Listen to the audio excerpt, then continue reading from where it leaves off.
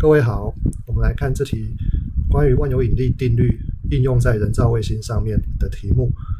题目写得非常清楚，它写人造卫星绕地球运动所需的向心力为地球施与卫星的万有引力。那这什么意思哈？就是我们人造卫星它可以绕圈圈，而不是等速直线运动，就是因为它有受力。那它受的力其实是万有引力。那这个万有引力呢，跟它的速度方向是垂直的，这个 F 跟速度 v 是垂直。那对绕圆来说，如果这个力跟速度垂直的话，那这个力就会指向圆心，因为它就是跟切线垂直，速度方向沿着切线，然后力跟速度垂直，所以力这个万有引力沿着法线，那圆上面任何一个点，它如果要画法线的话，都会通过圆心啊，所以这个。万有引力今天就会通过圆，它的方向会指向圆心，作为向心力啊。所以底下我们也写的比较白话，就是卫星所受的万有引力与卫星速度方向垂直，这时候万有引力不造成切线方向的加速，只造成法线方向的加速，所以只造成转弯，而不造成速度的快或慢的变化，不造成速率的改变，而只有造成转向。所以运用等速圆周运动公式，向心力等于。mv 平方除以 r，那今天这个向心力来自于万有引力 r 平方分之 gm，这时候我们会发现这个小 n 会消去，而这个 r 也可以消去一个。啊，所以小 n 消去以及 r 消去一个，最后再把 v 开根号。啊，所以最后就会得到轨道速率就会等于根号的轨道半径分之大 G 大 N，所以 A 选项就是对的。，A 选项卫星的速率是这样，没有错。在 B 选项，那 A 选项知道以后就很容易推出 B 了。它的关键是等速圆周运动的这个切线速率，就刚好是全程的平均速率，因为它是等速率的，所以就可以用圆周长除以周期，路径长除以时间来表示它的速率。好，所以我们就把刚刚算出来的轨道速率公式，再让它等于圆周长除以周期。那同学可能有看出来。当它把它移项之后，这个 r 放到等号的左边，再放进根号里面，会变成 r 平方，r 平方再乘以 r 平 r 三次方，然后大 G 大 N，呃，移项一下，把 t 移过来，然后 r 移过去，大 G 大 N 移下来，最后就得到了公转周期会等于二拍根号的大 G 大 N 分之轨道半径三次方，所以 B 选项也是对的。在 C 选项，从 B 选项的这个轨道。公转周期也可以再找出它的角速率，就依依照我们等速圆周运动的关系，角速度或如果不管方向的话，角速率它就是在等速圆周运动的情况下，它可以写成绕一圈的弧度除上绕一圈的时间，那就是 t 分之二派，所以我们这个 t 就可以换成角速度分之二派这样子。所以再把刚刚算出来的公转周期公式，让它等于角速度欧米伽分之二派，那我们就会发现二派消掉了，然后再移项，就会得到下面这个关系，角速度就会等于根号的轨道半径三次方分之大 G 大 N，所以 C 选项也是对的。那 D 选项呢？他说如果密度地球的密度是 rho，这个念 R H O，H 不发音 rho。那这个密度乘上公转周期平方会等于定值，这是一个好用的公式，但是它只适用于表面卫星啊，什么意思呢？这边我们有推理，质量等于密度乘上体积，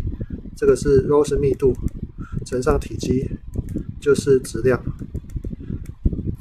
那我们把这个星球质量，刚刚的这个公转周期公式这里的大 G 大 M，这个 M 是星球质量，我们把它换成。密度乘上体积，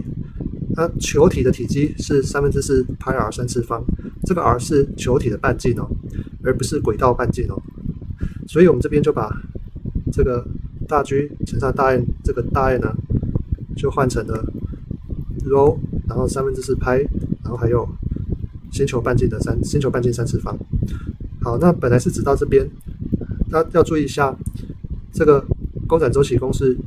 它根号里面的分子，这个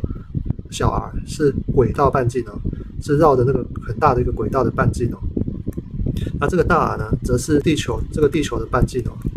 那这个小 r 则是这个卫星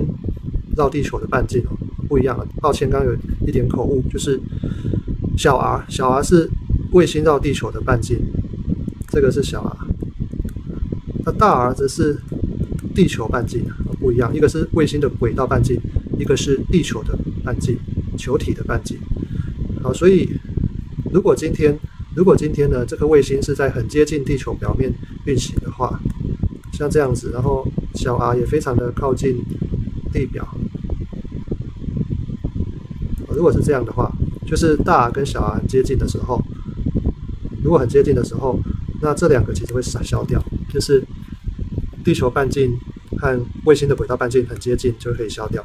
那消掉之后，我们就会发现，剩下的这几项全部都是常数，只有只有这个密度不是。啊，剩下的三分之四拍还有 g 还有二拍都是常数，只剩下密度不是常数。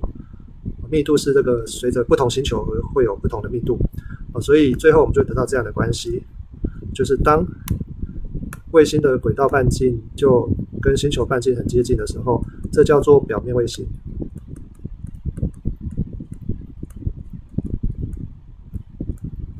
啊，在表面卫星的情况下呢，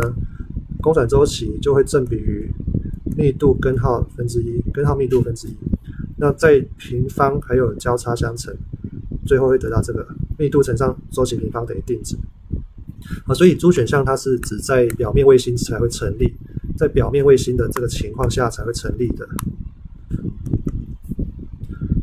好，那所以猪是错的。那一选项呢？卫星的质量越大，向心加速度越大。好，那我们刚刚提到说，今天它的向心力就是来自于万有引力。人造卫星绕地球的，它在转转圈圈，那转圈圈需要的向心力来自万有引力。那所以向心力造成的加速度就是向就是重力加速度。向心力造成的加速度，向心加速度今天就是重力加速度，因为它是由万有引力作为向心力，所以向心加速度。就是万有引力造成的加速度，那就是重力加速度。所以一选项向心加速度今天就等于重力加速度，那就等于 r 平方分之 g_n。那所以这个是跟小 n 无关的，无关小 n。啊，所以跟卫星的质量无关哦。只要是同一个轨道半径，那向心加速度都一样。同一个轨道半径向心加速度都一样，这有点像是在地球上同一个高度的地方，无论轻的重的，它的加速度，自由落体的加速度都是一样的。那再延伸多几多嘴一点，就是其实人造卫星在绕圈圈的过程，它只有受重力，那我们也可以称它为广义的自由落体，只不过